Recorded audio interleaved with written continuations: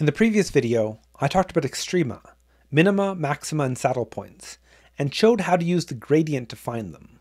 In this video, I want to talk about classifying those extrema.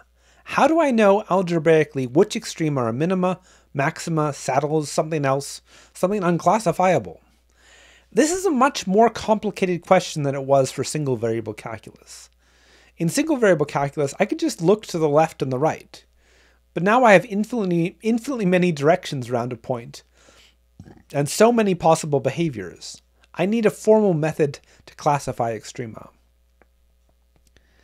I had such a method for single variable calculus using the second derivative.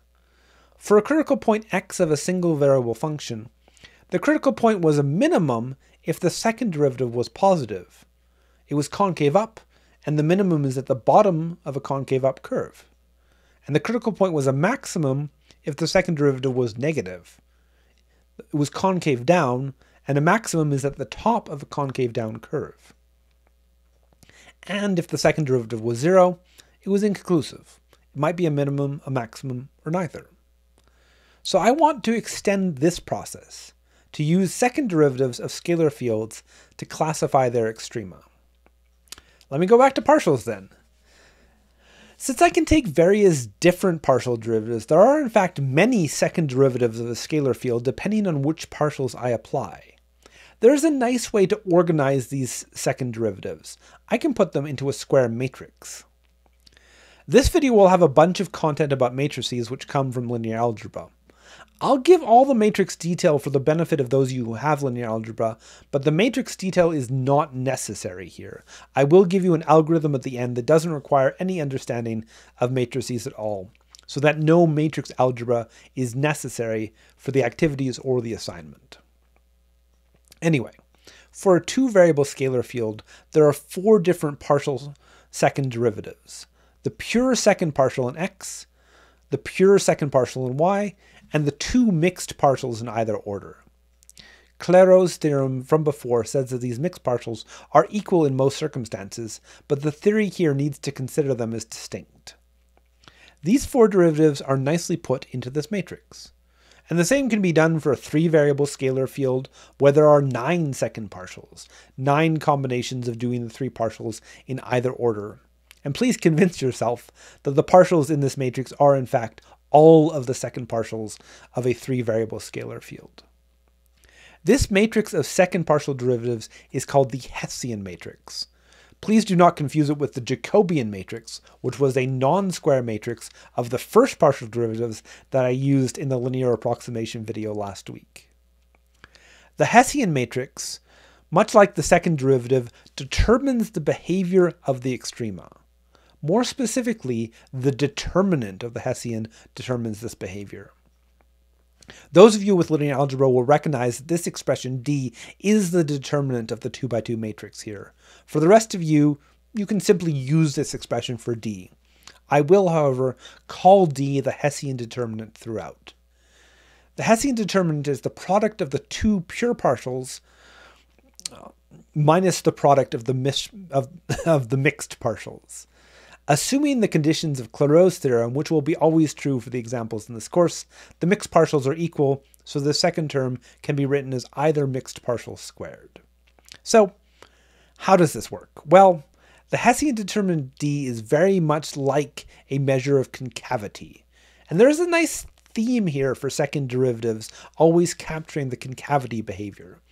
For single variable functions, the second derivative directly measured concavity, for parametric curves, concavity is sort of like curvature, the direction the path was curving and how tightly it was curving. And curvature was indeed a second derivative. If you go back and trace the definitions of curvature, you will find that it requires two derivatives of the curve to get to curvature, but not more than two. In general, when thinking about second derivatives in any context, I like to conceptually think of concavity and curvature as what all these second derivatives are talking about. So, say I have a scalar field of two variables and a critical point that is a point where the gradient is zero. If the Hessian determinant is positive, that indicates consistent concavity. Then, if the pure partial in x is also positive, that indicates that the graph is concave up. It looks like the bottom of a valley, with all the directions curving up from that point. And that point must be a minimum. If d is still positive, but the pure second partial in x is negative, that indicates concave down. The graph looks like the top of a peak, with all the directions curving down, and that point must be a maximum. However, if d is negative, that indicates that the concavity is inconsistent. Not all directions curve the same way. This indicates a saddle point, a point where there is a maximum in some direction, those directions curve down from the point, and a minimum in other directions, those directions curve up from the point. Finally, like the second derivative test for single variable functions, if the Hessian determinant is zero, the test is inconclusive. Any number of behaviors are possible, including minima, maxima, saddles, or points that be, can't, can't be classified as any of these. Now, this slide is solely for the benefit of those of you with linear algebra, and I will not insist that any of you use this language or analysis, but this is such a great application of the ideas of linear algebra that I would be remiss if I didn't share it. I did the two variable case in the last slide, but how does that extend to scalar fields of more than two variables? Well, it still comes down to the Hessian matrix, but the analysis gets more complicated. It depends on eigenvalues. If u is a critical point of the scalar field, then I can calculate the Hessian matrix, evaluate all of those partials at a point u, to get a matrix of just numbers. That matrix has a spectrum, a collection of eigenvalues. And here are the cases. If all of the eigenvalues are positive, the critical point is a minimum. Positive eigenvalues indicate directions that are concave up, so if everything is concave up, it must be a minimum. And if all of the eigenvalues are negative, the critical point is a maximum. Negative eigenvalues indicate directions that are concave down, so if everything is concave down, it must be a maximum. If all of the eigenvalues are non-zero, but they are a mix of positive and negative, then the point is something like a saddle point. In higher dimensions, it can have several directions of increase and several directions of decrease. Each negative eigenvalue indicates a direction of increase, and each positive eigenvalue indicates a direction of decrease. And finally, if any eigenvalue is zero, which makes the determinant zero as well, then the test is, as always, inconclusive. Again, if you have no idea what an eigenvalue is, don't worry about it. But if you do know what an eigenvalue is, I hope it's somewhat fascinating to see how they show up here.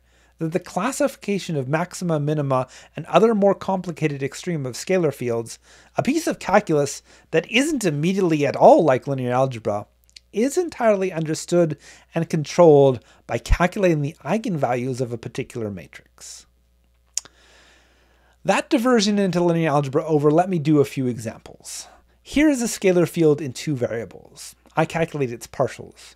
The gradient is zero at points where all the partials are zero. Solving this always results in a system of equations, and in this case, as long as y is zero, both the partials vanish. So all the points a0 for any x value a are critical points. Then I calculate the second partials the pure partials in x and y, as well as the mixed partial. I use these to calculate the Hessian determinant, the product of the pure partials minus the mixed partials squared. I simplify it a little bit, and then I can evaluate d at any point a0. Since y shows up in every term of d, d is 0 at all of these critical points. Therefore, the test is inconclusive here. Here is the picture of the previous function. The critical points were the points a0, and that forms a line when y equals 0.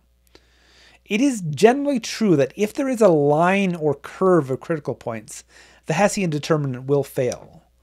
The reason it fails is that all these points are minimums in one direction, the x direction on this graph, but there is no change along the line, and since there is no concavity on the line for the Hessian to measure, it tends to give zero along such lines. Here is another example, another scalar field of two variables. I calculate the partials and set them both to zero. In this case, the point 2, negative 1 is the only solution. Then I calculate the second partials and the Hessian determinant. In this case, d is the product of the pure partials, 2 times 4, minus the mixed partial square, which is just 0 squared, so d is 8. This is positive, and the pure partial in x is also positive. In the classification scheme earlier, such data indicates a minimum. And if I look at the graph, I do indeed see that there is a minimum at the point 2, negative 1. Finally, let me do one last example. Here is one more scalar field of two variables. I could calculate, I calculate its partials and I set them to zero. This is a more complicated system. The x partial is zero when x is two or zero, and the y partial is zero when y is three or zero, and all combinations of these give critical points. So there are four, 0, 0, 0, 3, 2, 0, and 2, 3. If I put any of these four points into the partials, both partials will evaluate to zero. Then I calculate the second partials and the Hessian determinant. Skipping a bit over the calculation details here, I find that the Hessian determinant has this form, 48 times x times y times 4 minus 3x times 2 minus y. Then I can test the Hessian determinant at each of the four critical points. For the first three, whenever either x or y is 0, all of d is 0, since x and y are divisors of d. Therefore, the first three points all give d equals 0, and the test is inconclusive. For the fourth point, however, 2, 3, the Hessian determinant is positive.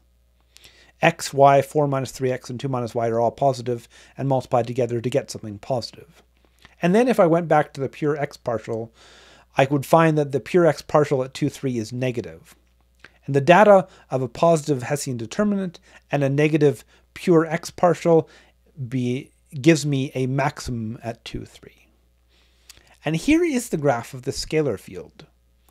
The top peak here is indeed the point 0.23 and it is a maximum. The other three critical points are these other points I can label in the graph, and each of them is a point, where the function levels off but then descends again. They are neither minimum, maxima, or saddle points. They are like the point zero zero on the single variable cubic. The derivatives momentarily vanish, but the upward or downward trajectory of the function continues as before. And this is the other kind of point, other than the lines of critical points from the first example, where I would expect the Hessian determinant to fail.